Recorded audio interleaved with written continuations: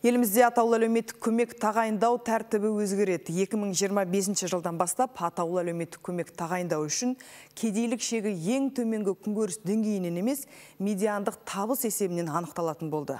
Министр Тамара Дүйсенова мұндай жаңашылдықты экономикалық ынтымақтастық және даму ұйымы елдерінің тәжірибесіне сүйене отырып енгізіп отырмыз дейді. Бүгін мәжілісте талқыланған кодексті әріптесім тыңдап қайтқан еді. Аршат, министр Тамара Дүйсенованың мәжіліске алып келген кодексінде тағандай жаңашылықтар бар екен.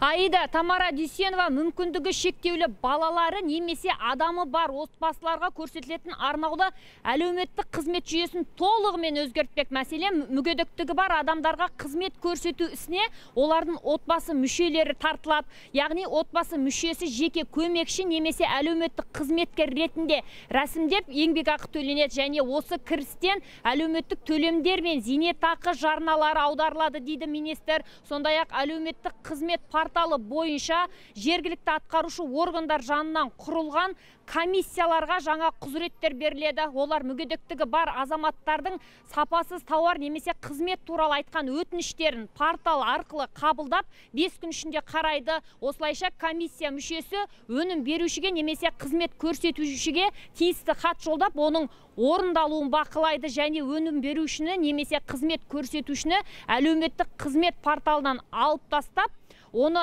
міндетін адал атқармайтын өнім беруші тізіміне енгізе алады дейді тамара дүйсенова. Әлеуметтік жұмыспен енді біліктілігі тәуелсіз бағалаудан өткен және сертификаты бар мамандар ғана айналыса алатын болады. Мүгедектігі бар азаматтарға қызмет көрсететін мамандарды таңдау үшін әлеуметтік қызметкерлердің реестрі жасалады. Онда оның біліктілігі көрсеткен қызметтерінің түрі және сапасы туралы толық мәлімет болады. Сонымен бірге әлеуметтік қызметкерлердің еңбекақы төлеу жүйесі және қолдау шаралары қайта қаралады.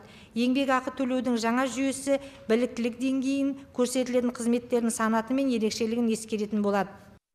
Аршат, әлеуметтік кодексте көп балалы отбасыларға қандай қолдау қарастырылған? Иә, Аида, әлеуметтік кодексте көп балалы отбасыларға берілетін мемлекеттік қолдау туралы да айтылады. Мәселе министрлік отбасының цифрлық картаны дайындау кезінде көп балалы отбасылардың әлеуметтік қатерлерге жиі тап болатынын байқапты. Сондықтан да жобада балалы отбасыларды әлеуметтік қолдаудың қолданыстағы бір тұтас жүйесін толық сақтай отырып оның негізгі параметрлерін өзгерту қарастырылған аида